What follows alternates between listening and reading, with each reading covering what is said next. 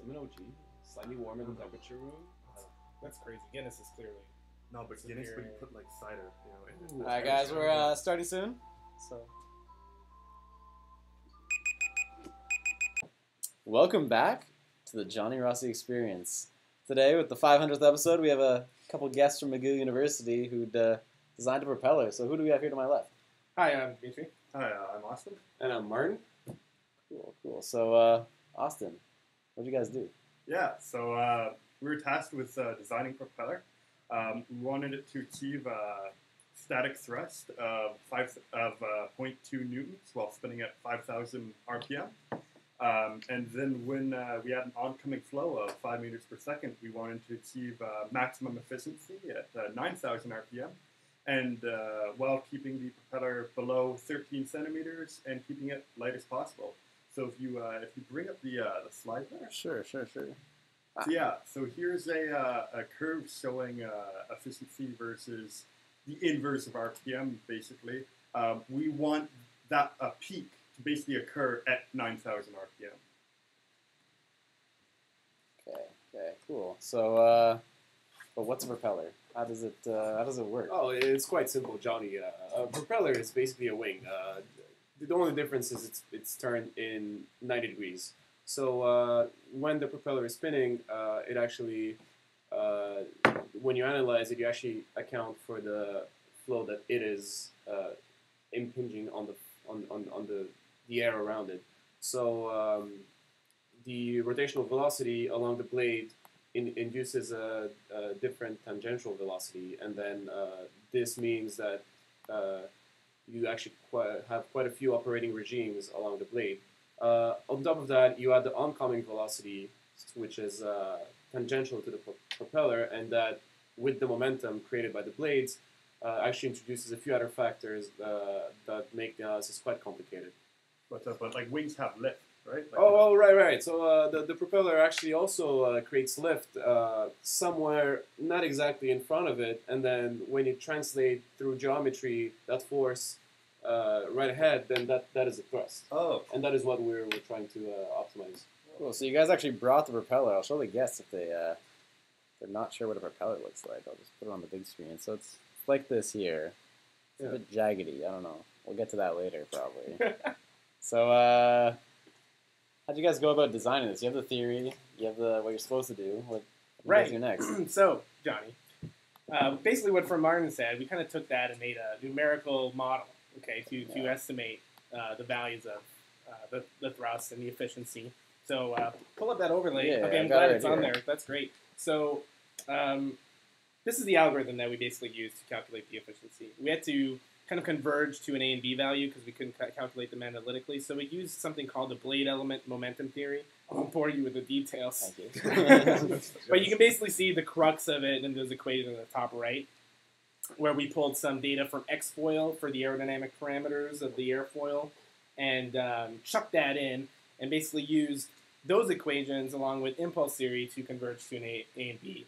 Uh, so those new A and B values you can see on the lower right equations, and then taking the average and making a tolerance check, we calculated A and B, which allowed us to get the efficiency of the airfoil for a given, you know, pitch and whatnot. Um, but to really optimize it, we threw that embedded it, embedded that into a numerical algorithm, like a like a bunch of for loops that just uh, swept through all of the different tuning parameters, such as the diameter and the chord, and we even had a really big array of airfoils, so we can see which airfoil would be would be best. Oh, it was quite big, Yeah. and uh, that kind of like um, led to an optimal solution, which um, we'll, we'll demonstrate shortly. Yeah. So what was that? Was that optimal solution? You guys, uh, Well, um, Talk me through your design. so uh, I mean, it would be easier. Can you just switch to the next slide? yeah, Please? sure. uh, Yeah. yeah. Thanks. Um, so uh, as you can see, like this is the this is the 3D drawing of the propeller. Uh, it took it took quite a few weeks to actually you know get to the to the, to the detail because it's it's quite it's quite an intricate design. So the, the, the, the big thing in the middle is the hub. This is you know the the what keeps everything together. So you attach this to the motor shaft with a with a screw, and then uh, the motor is rotating the hub, and the hub has the, the the blades attached to it, which rotate and then create the lift and then whatnot. And uh, if you switch to the next slide, I will show you what it looks uh, when we slice it up, so at 25, 50, 75, and 99% span, as you can see, the, the airfoil is, uh, is there at, all along the blade. However, we change the chord, which in turn changes the thickness of the of the of the of the, of the blade. And uh, right at the end, we actually tapered the, the blade quite a lot to uh, reduce the reduce the wingtip effects. Neat. So, uh, what did that big old model before tell you? What did it tell you it was going to do? All right, Johnny, we're getting to it. Yeah, we're, we're getting there. Uh, why don't you switch a slide and I'll actually Yeah. show you. So, as you can see, this is the, the output of the simulation. So, um, all the different curves correspond to a different pitch for a given airfoil. This is just an example, right? We did many airfoils. Yeah. This is for the optimal airfoil, the 0010. Um, and we got for a mean pitch of 15 degrees, efficiency of 55%, which is aligns there with that arrow at the at 9,000 RPM. We actually had an offset of zero, so we were right on target um, well, theoretically speaking, and a thrust of 0.23. Um, so we, we over designed the, the thrust because, you know, with experiments and stuff, you're going to have some, some error and there was some model uncertainty as well. So we definitely over designed the thrust. We gave it a little 10% boost, you know. Yeah, you know, a little, little, boost, more, little boost. Um, and that's what this theoretical curve is showing us here. So um, I guess we'll explain yeah. what Did, we, what we actually got. Yeah, did, you, so, did you uh, guys get that? then we uh, actually had to test the uh, the propeller. So if you go to the next slide, yeah, sure. um, that actually shows our test setup. So this is the wind tunnel. Um, you can see the engine mounted to a, uh, a force plate, basically. Um, and we threw the propeller in there and tested it for all the uh, different parameters. Uh, so if you go to the to the next slide, Yeah. Did you guys get that uh, ten percent? Uh, well, oh, Oh, oh, uh, that- uh, Johnny, Johnny, Johnny, Johnny. calm down. We'll, we'll get there. Don't worry. Ah, sorry, guys. I know you're excited, So- but uh, So, I don't know what happened. You're So we performed two tests. Um, for the first test, the max efficiency that we got was 73%, and for the uh, the second test, the max efficiency that we got was 53%. So uh, the reason why we did two tests was because the the first set of test results were a little bit unreasonable, um, and then the second set of test results seemed to be a bit more in line. Uh, we got similar thrusts. In the first test, we got 0.11 newtons, and then in the uh, second test, we got 0.13 newtons. So you know, not uh, not too bad, but still below what we were what we were looking for. you guys have any idea why that static thrust was different? Yeah, so like I explained earlier, this is this is based on a model, Johnny. Okay, and all models are wrong. Okay, I've, Some are I've- useful. I've, I've heard. I've you heard. know, ours is no exception. Um, Useful. so, uh, what happened was our model was limited to the mean uh, element, and then we kind of just extrapolated that across the blade.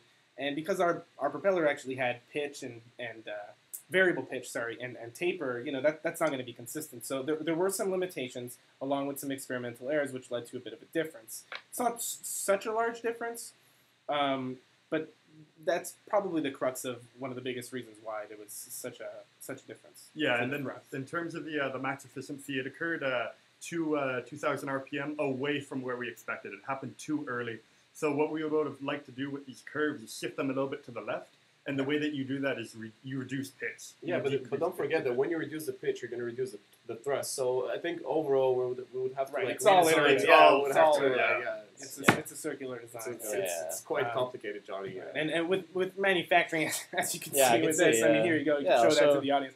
Uh, So guys, why was it? Why was it like So this, so there, there's manufacturing errors as well, right? So Mhm. uh, even one degree being being off the pitch with one degree is, is enough to really. Yeah, and I mean the, the test bed wasn't uh, perfect either. I mean the, those guys didn't even uh, record the velocity of the propeller. You know, like uh, we have to we have to verify that it's actually spinning at 9,000 RPM. You know, so uh, I mean, there's quite a few reasons. There. All right, all right. Well, uh, I think that's uh, that's our time. Well, uh, thanks, uh, thanks for having us. Yeah, Yeah, thanks, really thanks for coming. Yeah, Hope you guys, uh, hope you guys You get a better design next time. we, we don't know where this propeller, propeller is gonna lift us up to. Uh, yeah, maybe you guys could use it on uh, the OAP uh, drone. I you hear there's a new like hear- OAP beer delivery drone. I Yeah, hear, yeah, I hear there is. Wow, that, that'd be so- uh, yeah. that's a hot take. Well, join us Yeah, next I week. love your show, man. Ah, Uh, Yeah, thanks so for happy thanks for be It's coming. great to be on. Thanks. For tuning in this week, guys. Join us next week when the creator of LaTeX comes to talk about how great it is.